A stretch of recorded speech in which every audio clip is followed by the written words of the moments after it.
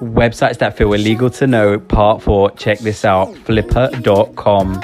This is a massive marketplace to buy and sell websites, domains, apps, e commerce stores. Look at this e store going for seven grand. People come on here to buy and sell domains. If you got like a really cool domain name, why not bring it on here and try and see what it's worth to try and sell it online? I didn't even know it was a thing. It's a massive marketplace. You can basically sell these for look, here's one going for 25 grand nearly.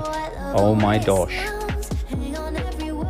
And if you go to this part of the website, you can find out how much it's valued at for what you've got. So why not go on here, check out how much your domain is if you've got one, and see if you can sell it online for a really good little profit.